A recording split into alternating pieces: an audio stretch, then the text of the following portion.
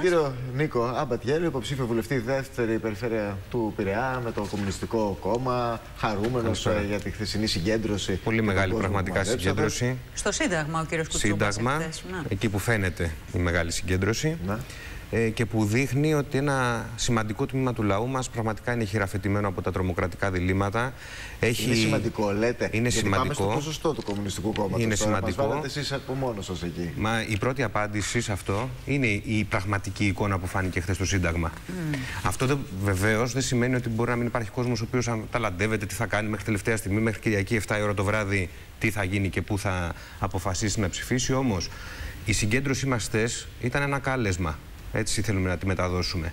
Όχι μόνο τα λόγια του Γενικού Γραμματέα στην ομιλία του Γιώργου Κιμούλη που διάβασε ένα κείμενο του Θάνου Μικρούτσικου στήριξης ε, και άλλων της Έρης Ρίτσου και του κύριου Ροίδη. Ο που είναι στην τελευταία τιμητική θέση. Ναι, 12η θέση του επικρατεία. Και είναι πολύ γνωστό ότι δίνει και με έναν αγώνα έτσι Δύσκολο υγείας. για την, υγείας. με την υγεία του. Ε, λέω όμως ήταν ένα κάλεσμα η ίδια εικόνα. Γιατί μέσα σε αυτές τις χιλιάδες χιλιάδων που βρέθηκαν στο Σύνταγμα δεν ήταν μόνο τα μελικοί φίλοι του Κουκουέ ήταν και πάρα πολλοί κόσμος ο οποίος έχει τις επιφυλάξεις του, τις διαφωνίες του. Το που όμως βλέπει. Αυτό στο νομίζω το έχουμε πετύχει το σε μια συνεχιζόμενη προσπάθεια από τις προηγούμενες εκλογικές μάχες και φαίνεται και στα ψηφοδέλτια και των ευρωεκλογών δημοτικών περιφερειακών και των βουλευτικών ότι πάρα πολλοί κόσμος ο οποίος σκέφτεται, σας το λέω καθαρά όπως το συναντάμε, πώς θα αλλάξουμε, βρε παιδιά, αυτό που δημιούργησε ο ΣΥΡΙΖΑ; Ο κόσμος να λέει ότι τα μνημόνια είναι μονόδρομος και να εμφανίζεται τώρα, αν είναι δυνατόν, ο κύριος Μητσοτάκης να λέει Να, αυτά που κάναμε και εμείς κάναμε και οι επόμενοι. Οπότε είμαστε δικαιωμένοι, λέμε εμείς εισαγωγικά, σε καμία περίπτωση δεν είναι δικαιωμένοι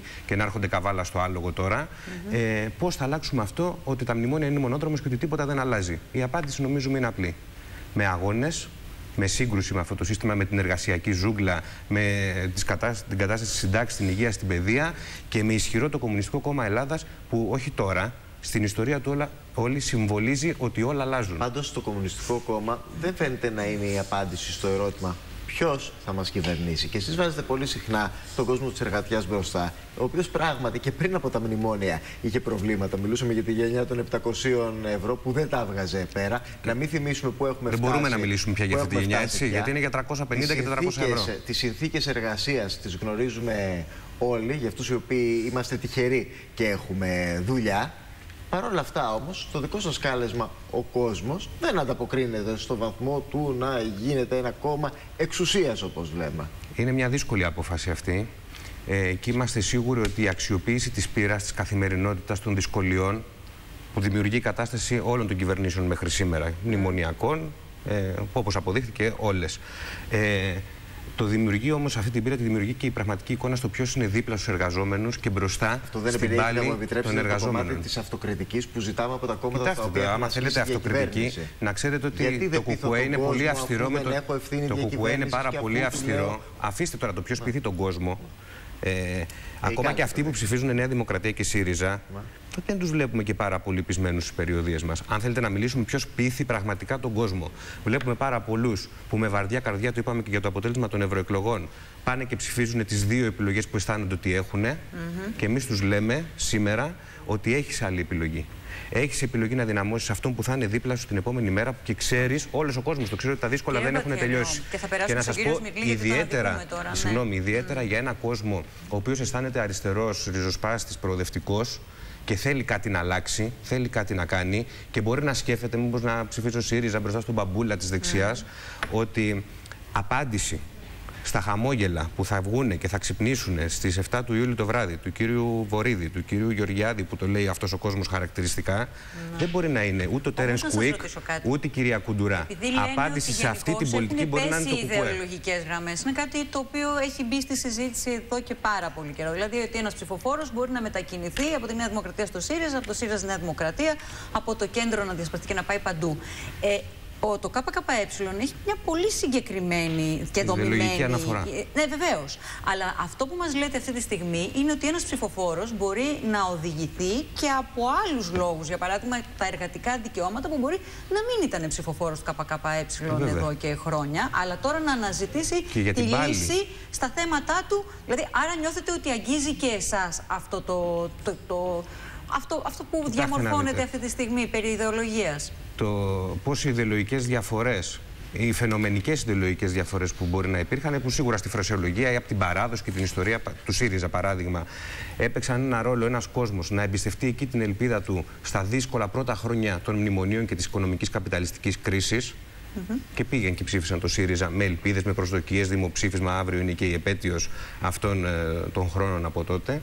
Ε, δείχνει ότι τελικά η καραδεξιά πολιτική που ακολουθήθηκε τι να κάνουμε, αυτή είναι η πραγματικότητα στην καθημερινότητα του κόσμου. Μπορεί πραγματικά τέτοιο κόσμο αγωνιστή να τον στείλει δυστυχώς στην αγκαλιά της Νέας Δημοκρατίας. Η μάχη που δίνει το ΚΚΕ δεν είναι μόνο εκλογική.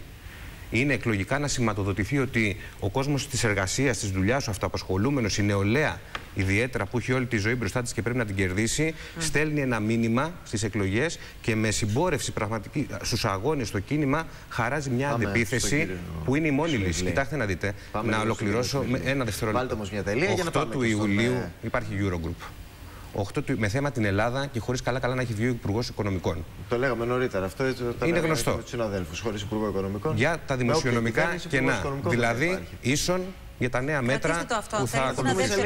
Προκαλώ όποιον, ε, επειδή μας παρακολουθούν πάρα πολλοί εργαζόμενοι, συνταξιούχοι, mm. νέοι, που σκέφτονται τι ξημερώνει την επόμενη μέρα. Να δουν τα προγράμματα ακόμα και αυτών των κομμάτων. Εντάξει, προφανώς το πρόγραμμα του ΚΚΕ και τις προτάσεις του, τις, ε, το τι προτείνει για τις εκλογές. Θα δουν ότι στις ε, κατηγορίες που υποτίθεται ότι είναι για αυτούς, για τους νέους εργαζόμενους, αυτά που προτείνονται είναι φοροαπαλλαγές και φοροεισφορές στο μεγάλο κεφάλαιο. Δηλαδή, πουθενά και στα δύο κόμματα, στα δύο σχέδια που υποτίθεται ότι συγκρούονται τώρα μπροστά στο. Ναι, μπροστά σας το έχετε, μπορείτε να το ανοίξετε. Ε, στα δύο σχέδια που συγκρούονται δεν υπάρχει ανάκτηση των απολύων από την κρίση. Σε, κανένα, σε κανέναν από τα δύο. Σε ποιο επίπεδο, γιατί ας πούμε. Σε όλα. Ε, τα επίπεδα, στα εργασιακά, στα ασφαλιστικά.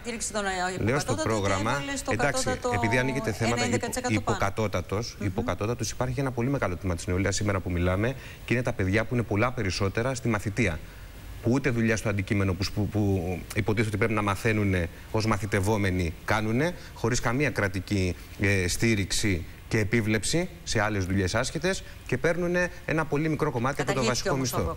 Τώρα, κύριε Ξαναλέω ότι επί της ουσίας σε ένα μεγάλο κομμάτι νεολαίας, για να μην πω ότι το κράτησε, το συντήρησε 3,5 χρόνια η κυβέρνηση του ΣΥΡΙΖΑ, ενώ βγήκε με αυτό το σύνθημα. Ε, άργησε εννοείται. Και βέβαια άργησε και υπήρχαν πάρα πολλοί μαζικοί αγώνες που αν δεν υπήρχαν αυτοί, ακόμα θα συζητάγαμε αν, είχαν, αν θα είχαμε από το μισθό. Άρα σε αυτά τα δύο σχέδια, σε αυτά τα δύο σχέδια δεν υπάρχουν οι λέξεις δικαιώματα των εργαζομένων, υπάρχουν οι θέσεις εργασίας ως ποσότητα.